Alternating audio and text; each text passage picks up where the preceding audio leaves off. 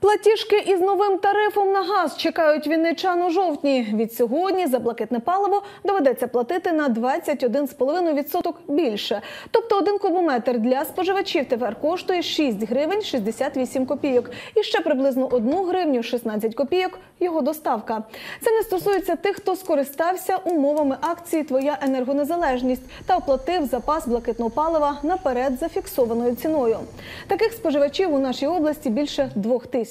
Фахівці кажуть, вартість газу в Україні залежить від цін на європейському ринку, а вони із серпня стрімко зростають.